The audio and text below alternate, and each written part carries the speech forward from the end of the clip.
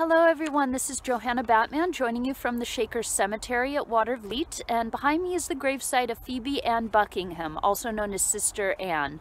And she was a lifelong Shaker and member of this community. She passed on December 28th, 1892.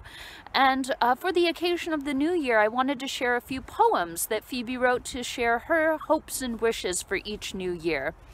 And so beginning on January 1st, 1837, I am determined to be more faithful in this year which is now begun, that I may gain a heavenly treasure which will fit me for the world to come.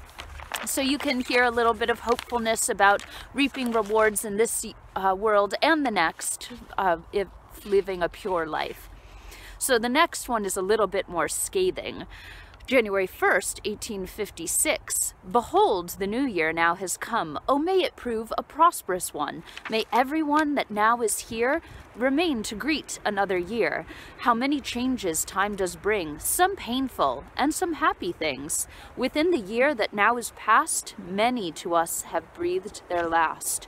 Some to a happier land have fled, others in thorns have made their bed left home and friends and all for what? The lowest pleasures the earth has got.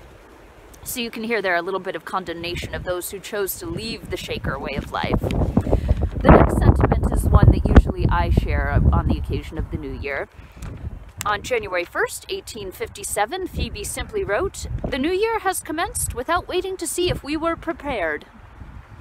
I hear ya. And finally, January 1st, 1867, the new year comes with quickened pace and greets us with a smiling face. Oh, may he keep the same in view as he onward moves his journey through. And with that sentiment, I'll wish you all a happy new year. Thank you.